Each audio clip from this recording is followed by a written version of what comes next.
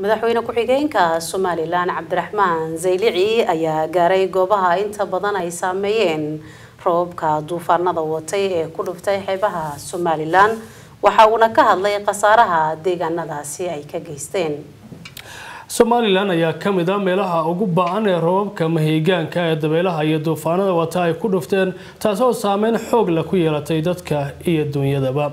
Wariyaha telefishinka r t n magaalada hargeysa cabdiraxiin axmed mahdi ayaa mar kale ka waramaya.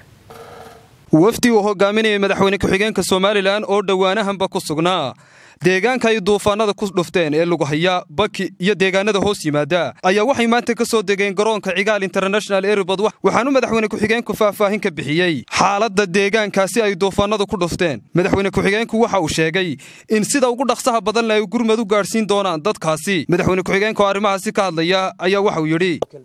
Ah ee degmada lughaya oo war laga waayey muddo siddeed afar saacadooda si aan uga war doonno ayaan halkan jabuuti shalay uga baxnay.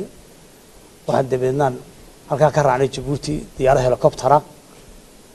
In markaa wixii aan ku soo aragnay meeshaa masiibada ka dhacday iyo dhibtaa ka taallay inaan idinka warranno bulshadana dhegeysanaysa reer somaliya meela joogtaba.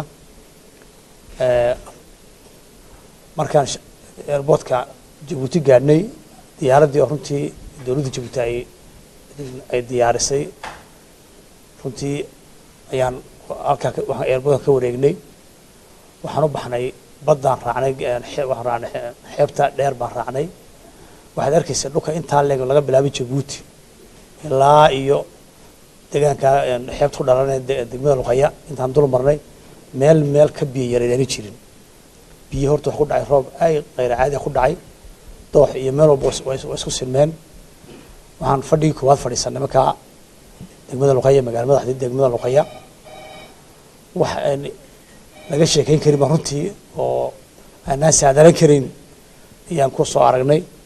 Magaalo dhan oo baaba'day oo hadduu aqal ahaa sandaqada iyo hadduu ku daar ahaa waxoo dhanba dhul kala silmeen oo taawarkii ugu weynaa oo sababta isgaadhsinta loo waay ahayd oo intu meeshood aad garanaysaa xeeba oo maarata dhul hoose ah taawarku intuu lekaad yaabsa gebigiisa dhulka yaallo dabeedna waxaan ku wareegnay in laba saddex jeer aan ku dul wareegnay.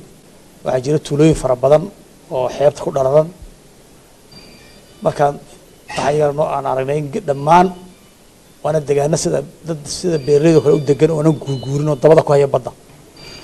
Degaankaasi isaguna aada iyo aad runtii u baaba'ay. Baddii iyo biyihii ayaa isku qabsaday.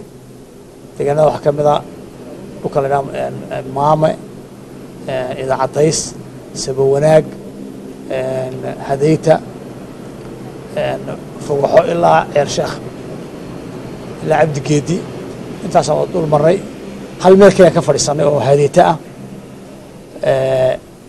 waxaan ka sheekan karna ma hadeyto oo kale meeshaan iyo iyo maga iyo dad deganaan ma odhan kartid biyihii ku dhacay roobka ahaa waxay abuureen inay dhulkiiba gooyaano baddii ay soo durkiyaan dadka aan ugu tegnay intii ka baxday maaha inta kale oo aanan nina ninka jaarkiisa haynin runtii oo dad dhintay aasaya oo meydadkii daadku ka qaaday gargaaro bari iyo cabdigeedu ka qaaday yidhaaheen waxaan ka helnay halkaa aan ugu tegnay ka helnay.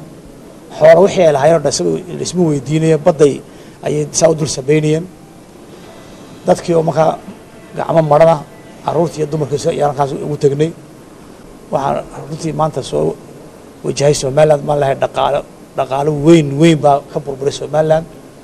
Xoolo waxay maanta somaliland lahayd ee gobollada awdal iyo selel.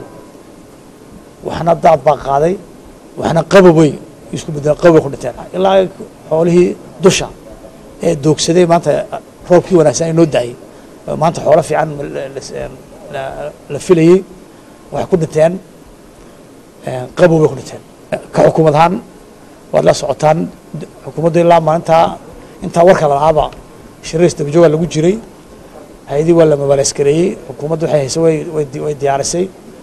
Gurmadkii koowaad ee inooga yimid dibaddana waxay imika arkaysaa halkan soo la soo diray diyaarado dhulkaa go-doonsan cuntada gaadhsiiya ay noo soo dirtay dowladda imaaraadka carabta aynu saaxiibka nahay.